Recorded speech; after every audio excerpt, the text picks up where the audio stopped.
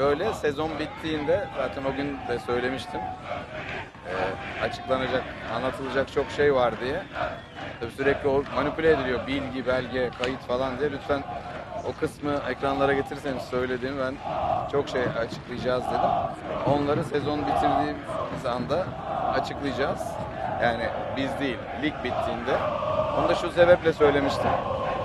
Ee, şu an bu tip şeyler açıklandığında daha sonra yap- bir hata yapılsa bir şey olsa hep onlara açıklamalara bağlanacağı için ligin selayeti açısından doğru gitmesi açısından bize fayda sağlayacak olma ihtimali olsa da olmasa da hiç fark etmez.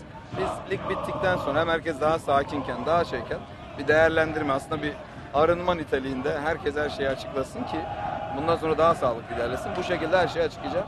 Ama lütfen şunu rica ediyorum. Belge, bilgi, kayıt diye manipüle ediyor. Tabii ki şeyler var ama ben tüm hepsini açıklayacağım dedim. Lig bittiğinde, sezon bittiğinde sadece Galatasaray Fenerbahçe için değil, sezon bittiğinde yani bir tam son haftadan sonra açıklayacağım tabii ki.